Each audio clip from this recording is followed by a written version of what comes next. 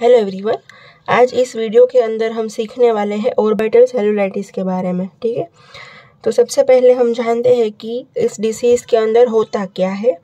तो it is a acute infection of the soft tissue of the orbit हमारी जो orbit होगी school के अंदर, उस ऑर्बिट के अंदर सॉफ्ट टिश्यू जो प्रेजेंट होगी, हमारा आई बॉल एंड उसके आसपास के स्ट्रक्चर उस सब का इन्फेक्शन है, ठीक है?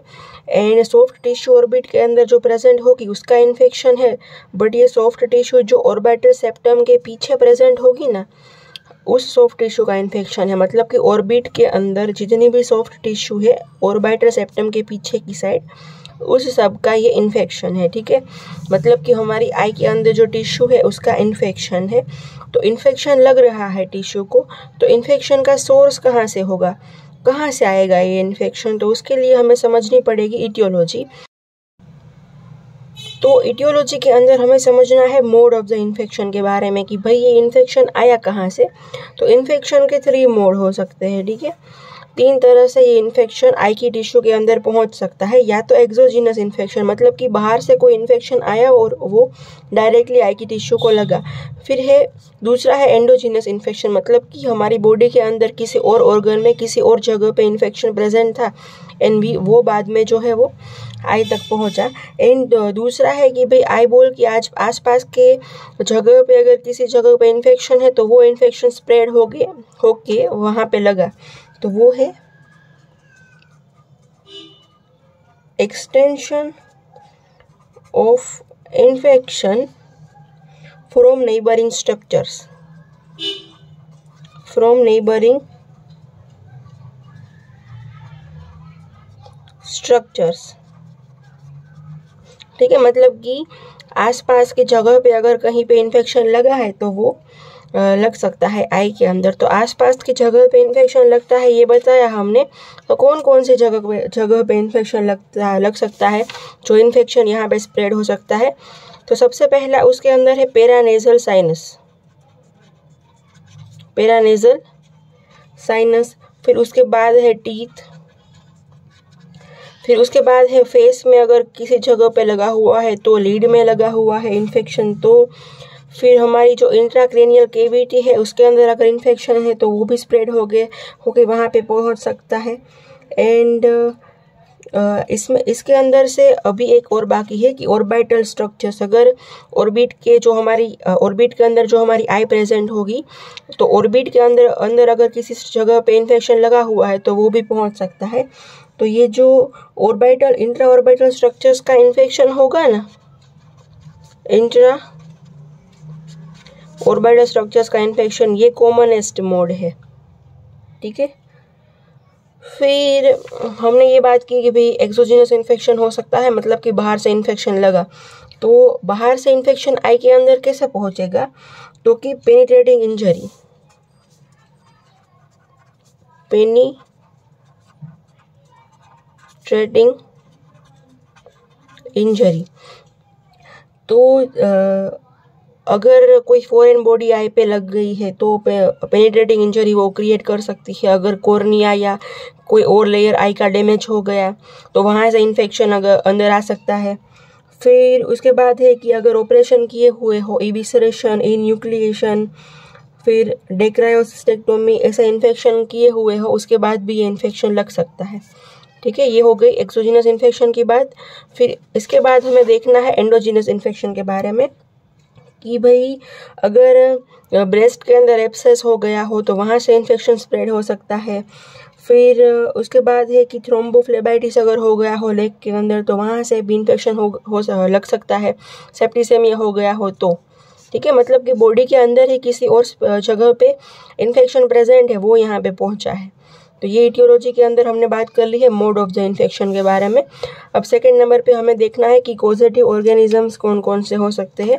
तो अब हम देखेंगे कोजेटिव ऑर्गेनिजम्स के बारे में। तो कॉमनली इन्वॉल्व जो कोजेटिव ऑर्गेनिजम्स हो गए उसके बारे में हम देखने वाले हैं। तो उसमें सबसे पहला है स्ट्रेप्टोकोकस न्यूमोनियाई स्ट्रेप्टोकोकस न्यूमोनियाई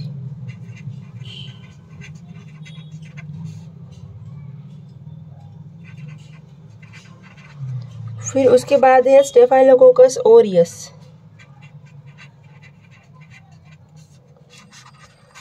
फिर उसके बाद है स्ट्रेप्टोकोकस पायोजेंस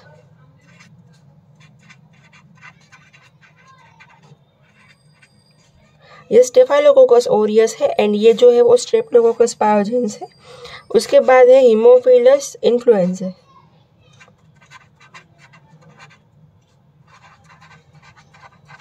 ठीक है।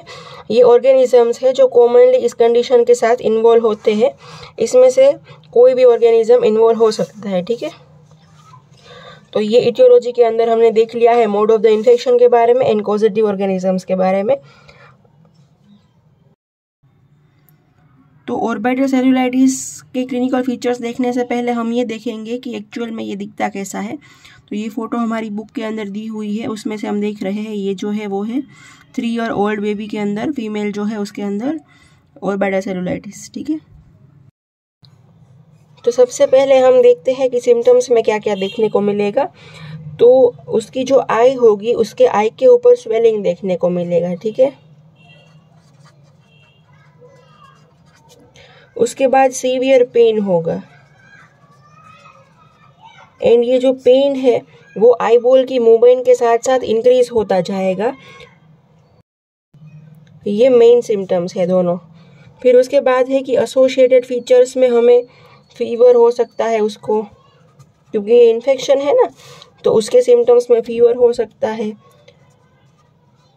नोजिया एंड वोमिटिंग हो सकते हैं। फिर उसका डिसीज अगर अभी स्टार्टिंग के फेस के अंदर होगा तो उसको डिप्लोपिया भी हो सकता है एंड एडवांस डिसीज उसका हो गया होगा तो उसका विजन लॉस भी हो सकता है।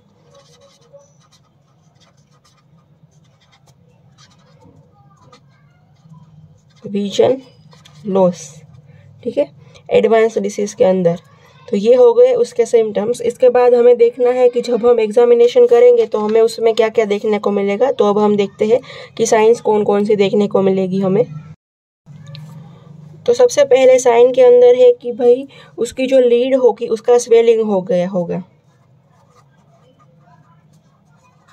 स्वेलिंग ऑफ़ द लीड फिर उसके बाद है कि रेडनेस भी देखने को मिलेगी, हमें बहुत ज़्यादा रेडनेस देखने को मिलेगी। अगर हम उसको टच करेंगे ना तो वो टच करने में वुडी हार्ट जैसा फील होगा हमें। फिर उसकी जो कंजक्टाइवा होगी, उसके अंदर हमें कीमोसिस देखने को मिलेगा। कीमोसिस देखने को मिलेगा। कंजक्टाइवा के अंदर। फिर उसके बाद है कि प्रोप्टोसिस भी देखने को मिल सकता है एक्सियल प्रोप्टोसिस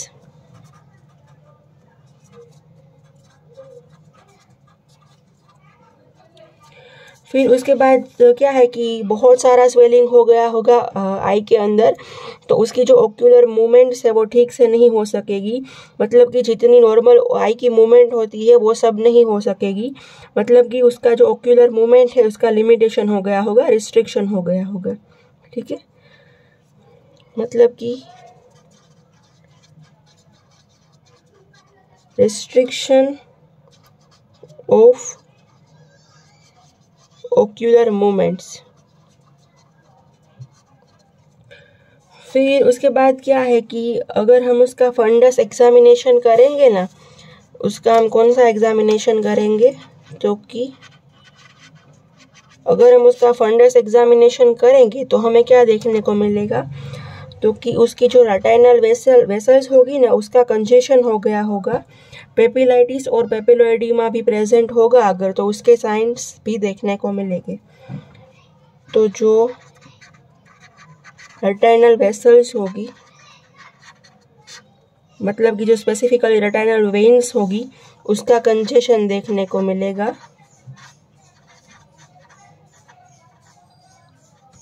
फिर उसके बाद क्या देखने को मिलेगा?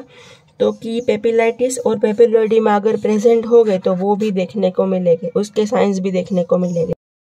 तो ये देख लिया है हमने साइंस के बारे में तो अभी तक हमने क्लिनिकल फीचर्स के अंदर साइंस एंड सिम्टम्स के बारे में देख लिया है। अब इसके बाद हमें देखना है कि कॉम्प्लिकेशंस कौन कौन सी हो सकती है, ठीक है? अगर किसी के आई में ये कंडीशन हुई है तो उसकी वजह से कॉम्प्लिकेशंस कौन कौन सी होगी। तो उसके अंदर सबसे पहले जो ये कॉम्प्लिकेशंस है ना वो मेनली फाइव हेडिंग के अंदर पढ़नी है हमें। तो सबसे पहले है ओक्यूलर कॉम्प्लिकेशंस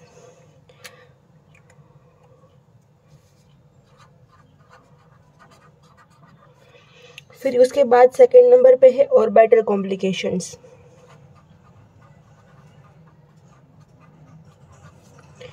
फिर उसके बाद थर्ड नंबर पे है टेम्पोरल और पेरोडिड एप्सेस मतलब कि एप्सेस बनेंगे। फिर इसके बाद फोर्थ नंबर पे है इंट्राक्रेनियल कॉम्प्लिकेशंस।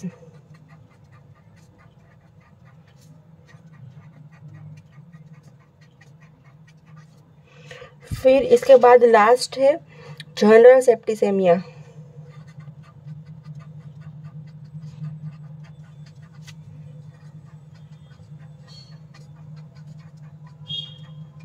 है? तो इसको देखते हैं हम कि भाई सबसे पहले ऑक्यूलर कॉम्प्लिकेशंस के अंदर क्या क्या हो सकता है तो कि इसकी वजह से विजन लॉस हो सकता है। ठीक है? विजन लॉस हो सकता है।